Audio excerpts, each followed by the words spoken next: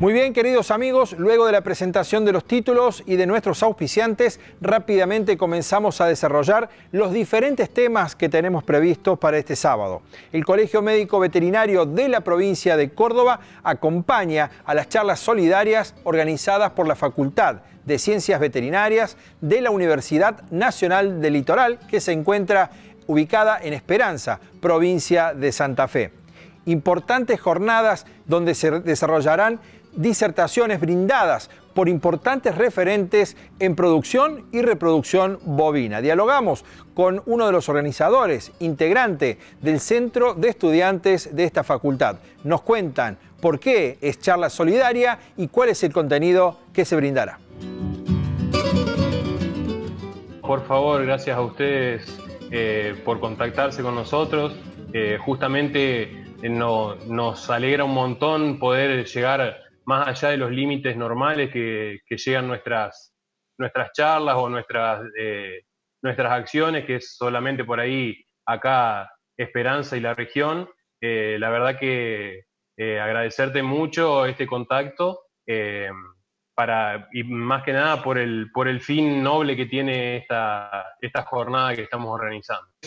una hija de un muy querido profesor que tenemos acá en la facultad, un, profesor esperancino, eh, el cual eh, ella está afrontando un, problema de salud, eh, que su tratamiento es un tanto costoso.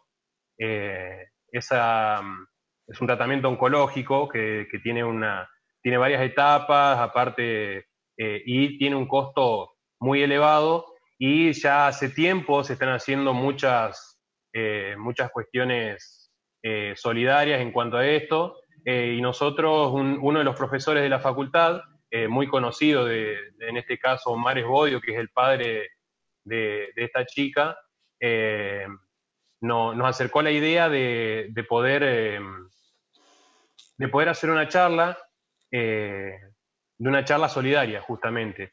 Tenemos un total de ocho disertantes, una buena cantidad, todos ellos reconocidos, todos ellos muy estudiosos, muy, eh, muy aplicados en, sus áreas. Eh, la primera charla que va a ser el día 27 eh, trata sobre anovulación en la vaca lechera, el tema de las bases fisiológicas, diagnósticos y tratamientos, sobre esa temática.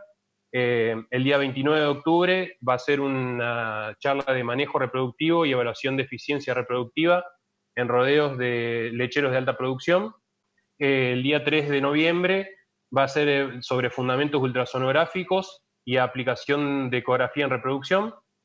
Eh, y por último, el 5 de noviembre sería manejo de reproductivo en rodeos de cría, por eso justamente es lo que decía de, que la mayoría están orientadas a, producción lechera, pero también manejo reproductivo en rodeos de cría y producción en áreas marginales. Público en general, cualquiera que esté interesado en la temática y obviamente quiera colaborar, que esta, esta es el motivo final y principal, eh, que quiera colaborar en, esta causa que estamos trabajando, es totalmente bienvenido. Cualquiera que quiera eh, participar es totalmente bienvenido. Vuelvo a repetir, agradecerles a ustedes por el contacto, eh, por ayudarnos a difundir esta, esta, esta charla que tiene, como repetí varias veces, un motivo muy noble y también que es de muy alto, de muy alto nivel, eh, así que se puede aprovechar muy bien en todos los, en todos los, los niveles.